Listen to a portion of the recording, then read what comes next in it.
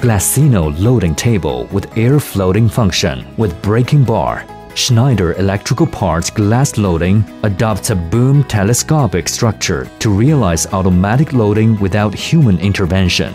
The remote control controls the machine drive to realize arbitrary steering and walking in a workshop.